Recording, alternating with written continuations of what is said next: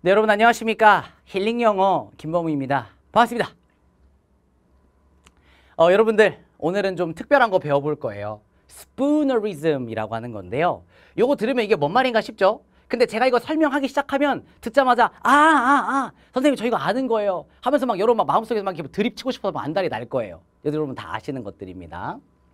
근데 이 스푸너리즘을 직접적으로 설명을 드리기보다 먼저 다음과 같은 문장들을 여러분들과 제가 소리내서 크게 한번 읽어보도록 하겠습니다. 오케이? 근데 이걸 읽다가 혹시라도 조금 틀린 부분이 발견된다 그러면 그거를 잘 체크해놨다가 몇 개 틀렸는지를 바로 딱 말씀을 해주시면 됩니다.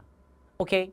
그리고 여기에 제시된 모든 문장들은 이제 요즘 핫한 아이돌 멤버죠. 그 쯔와이스 트위라는 분께서 이 트위터에 올린 것으로 알려진 것으로 화제가 된 적이 있었던 그런 문장들이에요. 자, 같이 한번 해보겠습니다. 시작. 어제는 맑았는데 오늘은 하루 종일 비가 내렸다. 오늘처럼 번둥천개가 치던 날이면 전 애인 수진이와 우산을 쓰며 데이트하던 때가 생각이 난다. 그땐 곱은 졸목을 따라 직죽진해 노인 코레방에 가곤 했지. 막상 들어가 보니 워낙 좁아서 꽁조리만의 통치가 된 기분이었지만 낭만이 있었는데 말이야. 수진이는 쯔와이스의 트위를 닮아서 너무 이뻤어. 노래를 부르다 배가 고파지면 같이 피즈 치자를 사 먹었어. 오늘따라 그녀가 보고 싶어지네. 자, 몇 개 틀렸습니까? 하나, 둘, 셋! 다섯 개! 아닙니다. 여섯 개! 아닙니다. 일곱 개예요, 여러분들. 자, 볼까요? 번둥천개가 아니라 뭐죠? 천둥번개죠. 그 다음에 곱은 졸목이 아니라 좁은 골목이었죠, 원래가. 그 다음에 직죽지네. 이거 헷갈릴 뻔했어요. 쭉 직지네. 그 다음에 요건 여러분 다 알죠. 코인 노래방. 그 다음에 꽁조리만의 통치가 아니라 통조리만의 꽁치. 그리고 쯔와이스 트위. 이거 맨날 헷갈려요, 이거. 트와이스 쯔위죠. 그리고 피즈 치자. 이거 아, 엄청 헷갈립니다, 이거. 치즈 피자. 이렇게 해서 다 해서 일곱 개였는데 몇 개나 찾으셨나요? 근데 이게 특히 말로 할 때는 좀 더 찾기가 쉬운데 그냥 눈으로만 쓱 볼 때는 진짜 헷갈려요. 몇 개 못 찾습니다. 자, 그러면 이런 현상 있잖아요. 영어에도 존재합니다. 영어로는 전문 용어로 spoonerism이라 그래요. 어. 근데 이걸 좀 전문 용어로 하기가 좀 애매한 게이 spooner이요. 사람 이름입니다. 사람 이름. 사람 이름 따서 가지고 온 거예요. 근데 이제 이분이 굉장히 이런 말실수를 자주 했대요. 그래서 이 여왕님 앞에 가서도 제가 보여드릴게요. Dear Queen, 친애하는 여왕이시여 라고 말해야 되는데 이 D랑 Q를 헷갈려가지고 Queer Dean 이렇게 말했다는 거예요. Queer이 뭡니까? 이상한, 기묘한. Dean은 학장이에요. 그래서 친애하는 여왕님이라고 해야 되는데 이 기묘한, 이상한 학장님 이랬다는 거예요. 그래서 엄청나게 이제 유명해졌던 그래서 그분의 이름을 따서 스푸너리즘이라고 했습니다. 명칭을. 자 그러면 이 사전적인 정의를 한번 볼까요? 배워야 될 단어들이 굉장히 많아요. 어, verbal error. 이거 너무 중요합니다, 여러분. verbal. 말의, 언어의. 오케이? 그러면 말의 오류야. 어떤 말의 오류냐? 지금 전치사 플러스 관계대명사 나왔으니까 뒤에 완전 문장 나오고 꾸며주죠. 그쵸? 그죠? 자, 말의 오류인데요. 발화자가 실수로 transposes. 이게 뒤바꾸다라는 뜻이에요. 발화자가 실수로 뒤바꾸는 그런 오류입니다.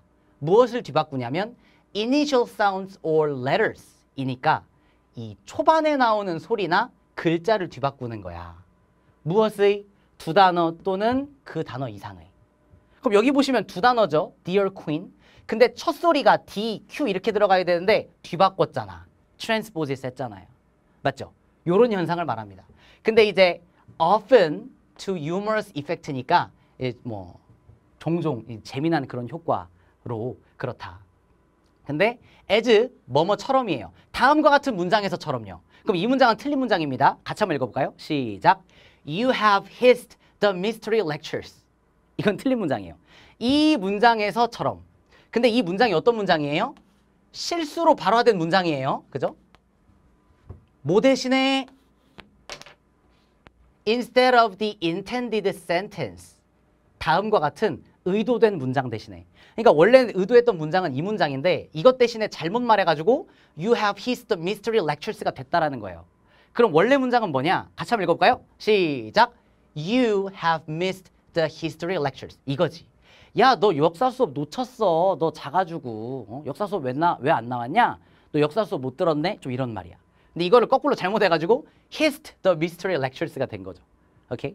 히스하게 되면 마치 뱀이 소리를 내는 것처럼 스, 스, 이런 소리를 내다라는 뜻입니다.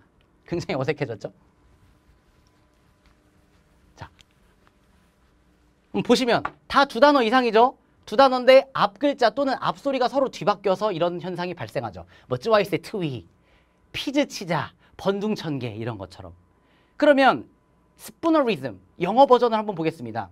자, 첫 번째 문장 그거예요. 특히 이제 아빠가 이 언니한테, 그러니까 언니가 지금 여동생을 막 때리고 있어. 그래갖고 야야야 그만 때려라고 할 때요. 같이 한번 읽어보겠습니다. 시작. Hey hey hey, stop stealing your sister. 뭔지 알겠죠? 원래 뭐야? Stop hitting your sister. 이게 돼야 되는 거죠. 이렇게 잘 헷갈린대요. 또 있어. 같이 한번 읽어볼까요? 시작. Well, it isn't difficult. 야, 이거 하나도 안 어려워. Actually, it's perfectly simple. 얘는 뭡니까? perfectly가 아니라 it's perfectly simple. 아주 단순한 거야. 예. 요거였어요. 핀플이라는 단어가 또 따로 있죠. 뭐 여드름 이런 뜻이 있습니다. 그렇죠? 그래서 뭐 잘못 발음하게 되면 이렇게 뒤바꿔 가지고 perfectly pimple이라고 발음을 하게 되더라. 이런 것이 바로 스푸너리즘입니다. 근데 이거 말고도 막 굉장히 많죠. 그래서 저도 엄청 헷갈렸던 게 이거.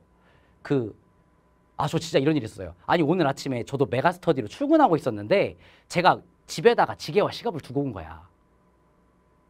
들었습니까? 지게와 시갑. 시계와 지갑이잖아. 그쵸? 이거 헷갈리고요. 그 다음에 또, 또, 그 여러분 고등학교에 학교마다 동아리 있잖아요. 근데 그 중에서 다들 이거 있을 거예요. 그 동사봉아리 다들 있죠? 동사봉아리. 헷갈, 헷갈렸죠, 방금? 봉사동아리. 별로 안 헷갈렸나요? 어쨌든 지게와 시갑, 뭐 동사봉아리 이런 거 좀 헷갈리더라고요. 그래서 예, 어쨌든 자 오늘 이렇게 좀 재미있게 이 스푸너리즘에 대해서 실제로 배워봤습니다. 이 다음 시간에도요 이제 어법뿐만 아니라 이런 식으로 여러분들 이 배경 지식에도 도움이 되는 많은 것들 가지고 와서 여러분들께 전수해드리도록 할 테니까 많은 기대 부탁드리고요. 어, 다음 기회에 또 보도록 하겠습니다. 지금까지 들어오셔서 진심으로 감사합니다.